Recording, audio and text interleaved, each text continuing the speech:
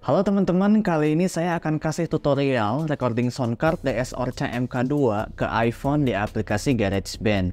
Untuk mikrofon saya menggunakan DS 200 MK2 yang terbaru ya, dan saya akan recording gitar juga karena kita akan rekaman simultaneously atau berbarengan di aplikasi GarageBand-nya. Yang saya perlukan untuk routing segala macamnya, yang pasti saya membutuhkan splitter dari MC Dodo CA2690 ini. Dia merupakan converter dari USB A ke Thunderbolt Lightning dan juga ada splitternya untuk recharging dari HP-nya ya iPhone biar uh, baterainya nggak habis.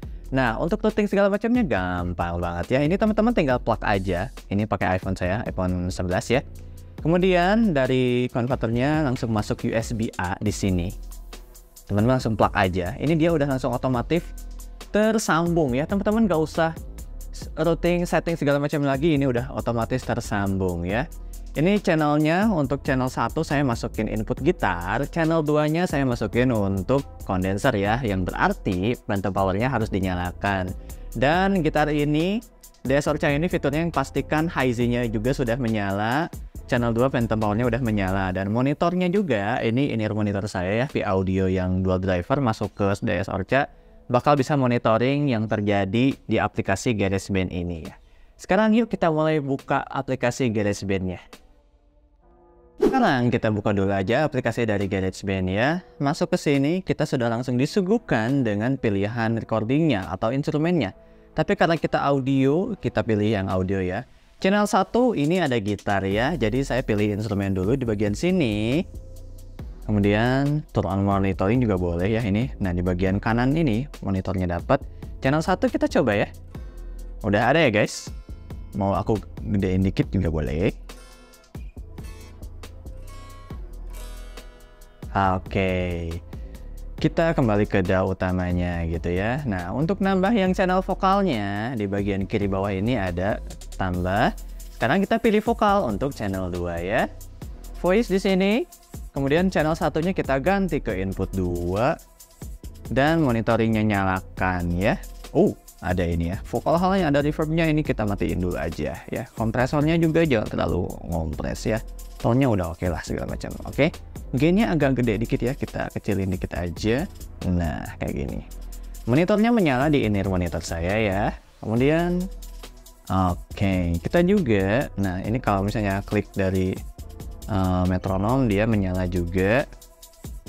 Atau teman-teman juga bisa set uh, metronomnya di gear kanan atas ini. Temponya kita ubah.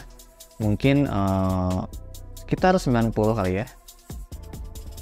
Nah, gitu. Kemudian cara recording berbarengannya, teman-teman buka aja nih yang track di sini. Pastikan yang warna merah button ini, nah dua-duanya menyala ya karena kita akan recording bersamaan.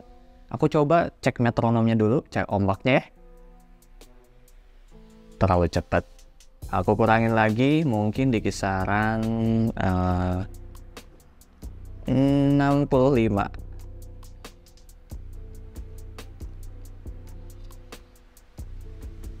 Sekarang kita langsung rekam aja ya dengan button merah yang ada di tengah atas.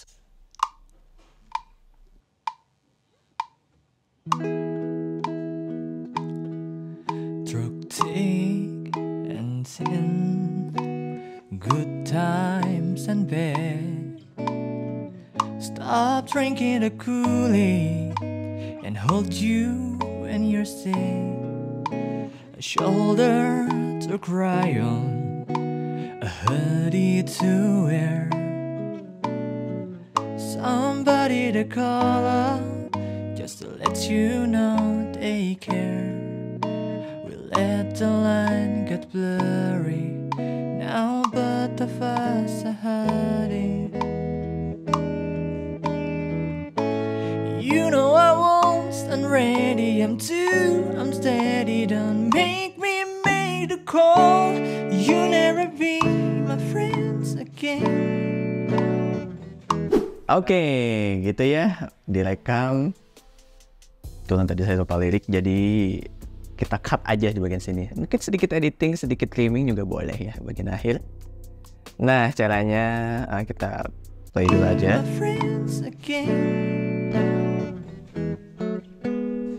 Nah sampai situ ya. Sampai situ aja klik audionya. Oke, kita zoom in lagi. Klik, nah kita klik salah satu juga boleh. Kemudian diklik aja audionya, split. Ini juga sama bawahnya. Klik lagi audionya, split ya. Jadi setelah di split, kemudian atau di trimming aja nih oh, oke okay, bisa trimming aja ya nah gitu simple banget teman-teman prosesnya juga uh, bisa uh, teman-teman pakai ya mau pakai efek juga boleh banget misalnya vokal di sini nah di sini ada ya beberapa efeknya tapi itu teman-teman bisa ekspor sendiri aja karena yang penting ini saya sudah uh, menjelaskan gimana sih cara recording berbarengan antara channel 1 dan channel 2 gitar dan mikrofon di iPhone menggunakan DSLR ya. Oke, selebihnya teman-teman bisa tambahkan beberapa efek juga di sini nanti atau misalnya di mixer juga bisa ya, main balancing balancing aja.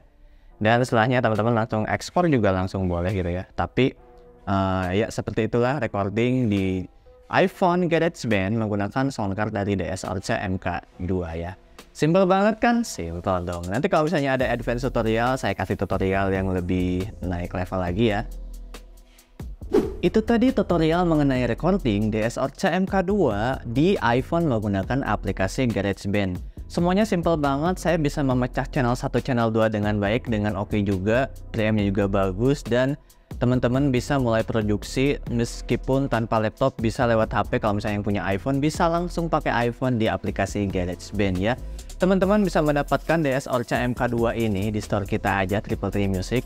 Harga per tanggal video ini dibuat yaitu 690 ribuan dan kalau misalnya microphone condenser DS 200 MK2 ini harganya di 550 ribuan aja. Di mana belinya? Triple T Music aja ya. Untuk info segala macamnya ada di deskripsi di bawah.